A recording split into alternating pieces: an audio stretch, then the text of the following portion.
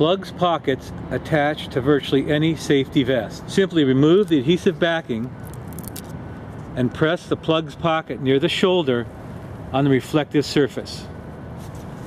When needed, extend the earplug by pulling it out of the pocket. To retract, simply press the push button. You now have on-demand hearing protection on your safety vest. It's that simple.